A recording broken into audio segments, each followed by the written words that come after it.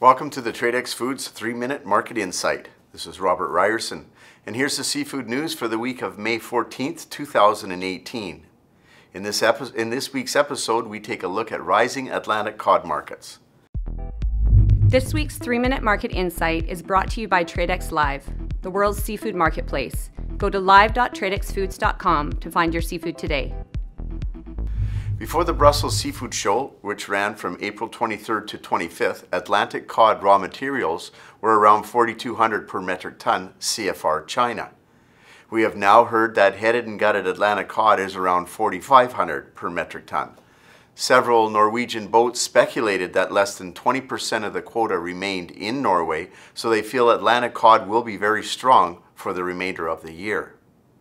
If you recall, the Norwegian Ministry of Trade announced a 13% quota reduction this year in the joint Russian and Norwegian fishing fleet to 775,000 metric tons for 2018. The Norwegians split this quota with Russia about 45% to 55% respectively.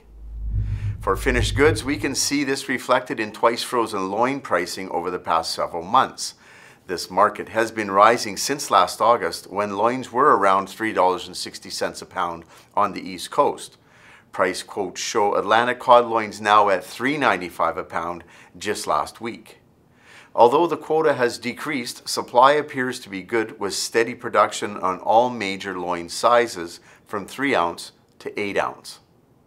A few years ago, Atlantic cod was landing quite large, producing limited small size loins but that does not appear to be the case this year.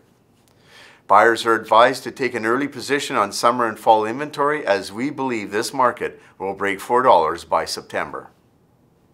To wrap this episode up, our TradeX Live offer of the week is for IQF pollock fillets.